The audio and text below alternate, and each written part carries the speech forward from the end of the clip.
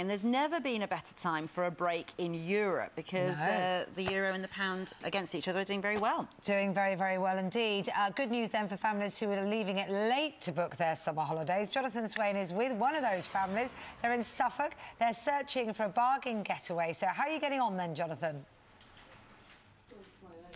Morning, Kate. We've been looking at the internet all, all morning trying to find a bargain getaway. This is Kirsty and her little boy Charlie there is 10 and mum Christine and also Bob. They want to go away probably next week really when Charlie breaks up from school. You must be looking forward to that, aren't you?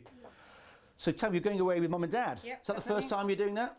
Um, is it, well, I've been away with mum before, but not the, us as a family. Okay, that's very brave of you. Hope it all works out for you. And now you're looking for a last minute deal. Is this something that you always look for? Um, pretty much, yeah. Because I work for myself, I can't book six months, I can't book a year in advance. I need to just know when I can go on holiday in a couple of weeks' time. I want to be able to book something. Sure, we'll just take a look down here. We've just found a holiday in first choice, haven't we, for £337. That's going to Greece, that's per person. That's pretty cheap, that's, that's half price.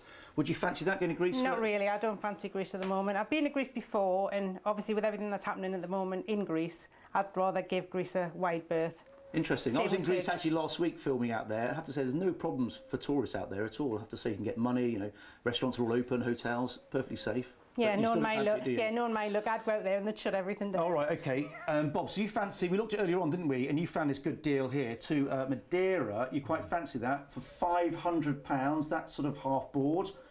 Does that take your fancy? Yes, it did take me fancy, yes. I would love to go to Portugal. Yeah. That's an, an island, isn't it? Well, it's an island yeah, Portugal, the right, Atlantic. yes, yeah. And what sort of things are you looking for on holiday then? Bearing in mind you're with grandson. Well, I'll be daughter. relaxing with my grandson. You know, I'll, I'll go swimming. Uh, and this and that, like, you know, really.